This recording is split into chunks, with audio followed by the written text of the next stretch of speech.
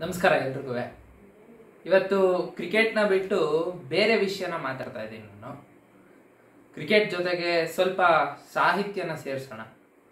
ಅಥವಾ ಏನೇನಾದರೂ ಬೇರೆದನ್ನು ಇದೇ ಚಾನಲ್ನಲ್ಲಿ ಸೇರಿಸೋಣ ಅನ್ನೋವಂಥ ದೃಷ್ಟಿಯಿಂದ ಈ ವಿಡಿಯೋ ಮಾಡ್ತಾ ಇದ್ದೀನಿ. ಸಾಕಷ್ಟು ಸ್ನೇಹಿತರು ಸಲಹೆ ಕೊಟ್ಟಿದ ನಂತರ ಈ ನಿರ್ಧಾರನ ತಗೊಂಡಿದ್ದೀನಿ. ನಾನು ಸಾಕಷ್ಟು ಪುಸ್ತಕಗಳನ್ನ ಓದ್ತೀನಿ, ಓದ್ತಾ ಇರ್ತೀನಿ, ಓದ್ತೀನಿ ಮುಂದೆ. ಹೀಗೆ ಪ್ರತಿಯೊಂದು ಪುಸ್ತಕಗಳನ್ನ ಓದೋದನ್ನ ಈ ಚಾನಲ್ನಲ್ಲಿ ಆ ಪುಸ್ತಕನ ರಿವ್ಯೂ ಮಾಡೋಣ ಅಂತ ಅನ್ನಿಸ್ತು. ಅದಕ್ಕೆ ನಾನು ಮೊದಲು ಓದಂಥ ಐತಿಹಾಸಿಕ ಕಾದಂಬರಿ ಆವರಣ. ಈ ಪುಸ್ತಕನ ಇವತ್ತು ವಿಮರ್ಶೆ ಮಾಡೋಣ, ಚರ್ಚೆ ಮಾಡೋಣ ಅಂತ ಈ ವಿಡಿಯೋ ಮಾಡ್ತಾ ಇದ್ದೀನಿ.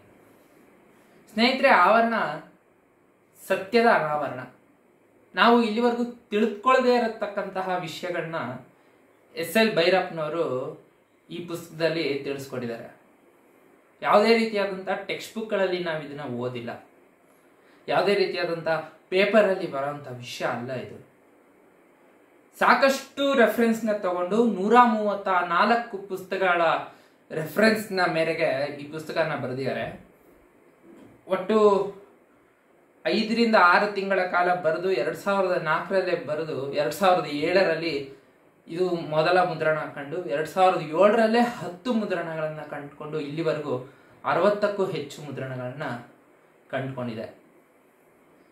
ಮಿತ್ರರೇ, ಇದು ಪ್ರತಿಯೊಬ್ಬ ಹಿಂದೂಗಳಷ್ಟೇ ಅಲ್ಲ, ಪ್ರತಿಯೊಬ್ಬ ಭಾರತೀಯನು ಓದಲೇಬೇಕಾದಂತ ಪುಸ್ತಕ. ಈ ದೇಶದಲ್ಲಿ ಹದಿನಾರರಿಂದ ಹದಿನೆಂಟನೇ ಶತಮಾನದಲ್ಲಿ ಏನಾಯ್ತು? ಅದನ್ನ ನಾವು ತಿಳ್ಕೋಬೇಕು.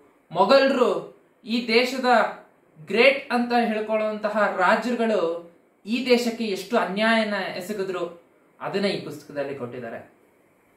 ಔರಂಗಜೇಬ್ ಅನ್ನುವಂತಹ ರಾಜ ಎಷ್ಟು ಕ್ರೌರ್ಯದಿಂದ ಹಿಂದೂಗಳ ಮೇಲೆ ಅನಾಚಾರವನ್ನು ಎಸಗ್ದ, ಎಷ್ಟು ಹಿಂದೂಗಳನ್ನ ಅತ್ಯಾಚಾರ ಮಾಡ್ದ, ಎಷ್ಟು ಹಿಂದೂ ಹೆಣ್ಮಕ್ಳನ್ನ ದೇವದಾಸಿಯರನ್ನಾಗಿ ಮಾಡಿ ಅವನ ಪ್ರತಿನಿತ್ಯ ಅವನಿಗೋಸ್ಕರ ಮುಡುಪಾಗಿಸ್ಕೊಂಡ ಅನ್ನೋದನ್ನ ನಾವು ಇಲ್ಲಿ ತಿಳ್ಕೋಬೇಕು. ಲಕ್ಷ್ಮಿ ಅನ್ನುವಂತಹ ಹಿಂದೂ ಹೆಣ್ಮಗಳು ರಜಿಯಾ ಆಗಿ ಬದಲಾಗುವಂತ ಕತೆ ಇದು. ಅಮೀರ್ ಅನ್ನುವಂತಹ ಒಬ್ಬ ಬುದ್ಧಿಜೀವಿಯ ಕತೆ ಇದು. ನರಸಿಂಹೇಗೌಡ ಅನ್ನುವಂತಹ ಒಬ್ಬ ಸಂಶೋಧನಾ ವ್ಯಕ್ತಿಯಿಂದ ಕಂಪ್ಲೀಟ್ ಬದಲಾವಣೆಗೊಳ್ಳುವಂತಹ ಲಕ್ಷ್ಮಿ ಹಿಂದೂ ಧರ್ಮದ ಪಾವಿತ್ರತೆಯನ್ನ ತಿಳ್ಕೊಂತ ಪ್ರಯತ್ನ ಈ ಪುಸ್ತಕದಲ್ಲಿದೆ.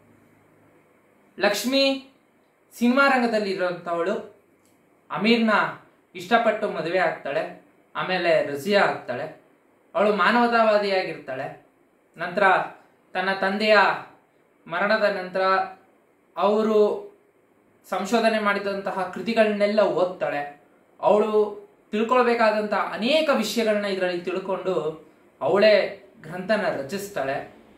ಅದು ಎಲ್ಲೂ ಕೂಡ ಪ್ರಕಟ ಆಗಕ್ಕೆ ಸಾಧ್ಯ ಇಲ್ಲ. ಅವಳಿಗೆ ಕೊಲೆ ಮಾಡುವಷ್ಟು ಮಟ್ಟಿಗೆ ಬೆದರಿಕೆಗಳು ಬರ್ತವೆ. ಎರಡು ಸಾವಿರದ ಏಳರಲ್ಲಿ ಯಾವ ರೀತಿ ಇರಬಹುದು, ಆ ಥರ ಘಟನೆ ಆಧಾರಿತವಾಗಿ ಎಸ್ ಎಲ್ ಭೈರಪ್ಪನವ್ರು ಬರ್ತಿದ್ದಾರೆ ಇಪ್ಪತ್ತನೇ ಶತಮಾನದಲ್ಲಿ ಯಾವ ರೀತಿ ಸರ್ಕಾರ ಇದನ್ನು ಊಹಿಸಿದೆ, ಯಾವ ರೀತಿ ಜನಕ್ಕೆ ಅನ್ಯಾಯ ಮಾಡಿದೆ, ಎಷ್ಟು ಸತ್ಯತೆಯನ್ನು ಮುಚ್ಚಿಟ್ಟಿದೆ ಅನ್ನೋದನ್ನ ಇದರಲ್ಲಿ ನಾವು ತಿಳ್ಕೋಬಹುದು ಮತಾಂತರ, ಜಿಹಾದ್ ಇಷ್ಟೇ ಅಲ್ಲದೇನೆ ಈ ನಮ್ಮ ಕರ್ನಾಟಕದಲ್ಲಿ ಟಿಪ್ಪು ಸುಲ್ತಾನ್ನ ಬ್ರಿಟಿಷರೊಟ್ಟಿಗೆ ಹೋರಾಟ ಮಾಡ್ದ ಅನ್ನೋಂತಹ ಒಂದೇ ಒಂದು ವಿಷಯವನ್ನು ಇಟ್ಕೊಂಡು ಮೈಸೂರಿನ ಹುಲಿ ಅಂತ ಕರೀತಾರೆ. ಆದರೆ ಟಿಪ್ಪು ಸುಲ್ತಾನು ನಮ್ಮ ಭಾರತ ದೇಶಕ್ಕೆ ಎಷ್ಟು ತೊಂದರೆಯನ್ನು ಕೊಟ್ಟ, ಜಮಾನ್ ಶಾ ಅನ್ನುವಂತಹ ದೊರೆ, ಅಫ್ಘನ್ನ ದೊರೆ, ಮತ್ತೆ ಟರ್ಕಿನ ಕಾಲಿಫ್ ಅನ್ನುವಂತಹ ರಾಜಂಗೆ ಪತ್ರ ಬರೀತಾನೆ ಟಿಪ್ಪು ಸುಲ್ತಾನು. ಈ ದೇಶವನ್ನ ಛಿದ್ರ ಛಿದ್ರ ಮಾಡಿ ಇಲ್ಲಿ ಇಸ್ಲಾಂ ಅನ್ನುವಂಥ ಮತವನ್ನ ಪ್ರಮುಖವಾಗಿ ಮಾಡೋಣ, ಬನ್ನಿ ಅಂತ ಪತ್ರವನ್ನ ಬರೀತಾನಲ್ಲ, ಅವನ ಮನಸ್ಥಿತಿ ಹೇಗಿರ್ಬೋದು ಅನ್ನೋದನ್ನ ಇದರಲ್ಲಿ ಖಂಡಿತವಾಗಿ ಪ್ರತಿ ಒಂದು ರೆಫರೆನ್ಸ್ ಇಟ್ಕೊಂಡು ಎಸ್ ಎಲ್ ಭೈರಪ್ಪನವರು ಇಲ್ಲಿ ಹೇಳಿದ್ದಾರೆ. ಜೊತೆಗೆ ಹಂಪಿ ದೇವಾಲಯಗಳು ಹೇಗೆ ಒಡೆದವು ಅಂತ ನಮ್ಗೆ ಕಟ್ಟ ಕತೆಗಳು ಏನು ಹೇಳಿದ್ದಾರೆ ಅಂತ ಹೇಳಿದ್ರೆ ವೈಷ್ಣವರು ಮತ್ತೆ ವೀರಶೈವರು ಹೋರಾಟ ಮಾಡಿಕೊಂಡು, ಗಲಾಟೆ ಮಾಡಿಕೊಂಡು ಅದು ಹಾಳಾಯ್ತು ಅಂತ ನಮ್ ಎಲ್ರಿಗೂ ಬಿಂಬಿಸ್ಬಿಟ್ಟಿದ್ದಾರೆ. ಆದ್ರೆ ಅದು ಸುಳ್ಳು. ಇವತ್ತೇ ನೀವು ಅದೇನಾದ್ರು ನಿಜ ಅನ್ಕೊಂಡಿದ್ರೆ ಮರೆತ್ಬಿಡಿ. ಅದು ಹೇಗಾಯ್ತು ಅದನ್ನೆಲ್ಲ ನೀವು ಈ ಆವರಣ ಪುಸ್ತಕದಲ್ಲೇ ಓದಬೇಕು. ಇದು ನಾನು ಎರಡು ವರ್ಷದ ಹಿಂದೆ ತಗೊಂಡಿದ್ದು. ಮುನ್ನೂರ ನಲವತ್ತು ರೂಪಾಯಿ ಇತ್ತು ಅವಾಗ. ಇವಾಗ ಒಂದು ಹತ್ತು ಹದಿನೈದು ರೂಪಾಯಿ ಜಾಸ್ತಿ ಆಗಿರ್ಬೋದು. ಬಟ್ ಆದರೆ ಖಂಡಿತವಾಗ್ಲೂ ಇದನ್ನ ಉಳಿಸ್ಕೋಬೇಕಾದಂಥ ಪುಸ್ತಕ. ಪ್ರತಿಯೊಬ್ಬರು ತಮ್ಮ ಮನೆಯಲ್ಲಿ ಇರಬೇಕಾದಂಥ ಪುಸ್ತಕ ಇದು. ಎಲ್ಲರೂ ಖಂಡಿತವಾಗ್ಲೂ ಓದಲೇಬೇಕು ಈಗ ನಡೆದಿರ್ತಕ್ಕಂತಹ ವಿಷಯ ಜ್ಞಾನವ್ಯಾಪಿ ಮಸೀದಿ. ಕಾಶಿ ವಿಶ್ವನಾಥ ಮಂದಿರದಲ್ಲಿ ಏನ್ ರೀತಿಯಾದಂಥ ಗಲಾಟೆ ಆಗ್ತಿದೆ, ತೊಂದರೆಗಳಾಗ್ತಾ ಇದೆ, ಅಲ್ಲಿ ನಿನ್ನೆ ಸಿಕ್ಕಂತಹ ಶಿವಲಿಂಗದ ಬಗ್ಗೆ ಕೂಡ ಇದರಲ್ಲಿ ಉಲ್ಲೇಖ ಇದೆ. ಎರಡ್ ಸಾವಿರದ ಏಳರಲ್ಲಿ ಬರೆದಂತ ಎಸ್ ಎಲ್ ಭೈರಪ್ಪನವ್ರ ಪುಸ್ತಕದಲ್ಲಿ ಆ ಉಲ್ಲೇಖ ಆಗ್ಲೇ ಪ್ರಕಟವಾಗಿದೆ ಅಂತ ಹೇಳಿದ್ಮೇಲೆ ಅದು ಖಂಡಿತವಾಗ್ಲೂ ಯೋಚನೆ ಮಾಡಬೇಕಾದಂಥ ವಿಚಾರ. ಪ್ರತಿಯೊಬ್ಬ ಹಿಂದೂಗಳಷ್ಟೇ ಅಲ್ಲದೆ ಪ್ರತಿಯೊಬ್ಬರು ಭಾರತೀಯರು ಓದಲೇಬೇಕಾದಂಥ ಪುಸ್ತಕ ಈ ಆವರಣ. ಎಲ್ಲರೂ ಓದೋಣ. ಮುಂದಿನ ವಿಡಿಯೋದಲ್ಲಿ ಸಿಗ್ತೀನಿ. ಕ್ರಿಕೆಟ್ ಜೊತೆಗೆ ಹಂಗಂಗೆ ಸ್ವಲ್ಪ ಸ್ವಲ್ಪ ಸಾಹಿತ್ಯದ ಬಗ್ಗೆನೂ ತಿಳ್ಕೊಳ್ಳೋಣ. ಮುಂದೆ ಹಲವಾರು ಪುಸ್ತಕಗಳನ್ನು ನಿಮಗೆ ಪರಿಚಯ ಮಾಡಿಕೊಡ್ತೀನಿ. ಈ ಚಾನಲ್ನ ಸಬ್ಸ್ಕ್ರೈಬ್ ಮಾಡ್ಕೊಳ್ಳಿ.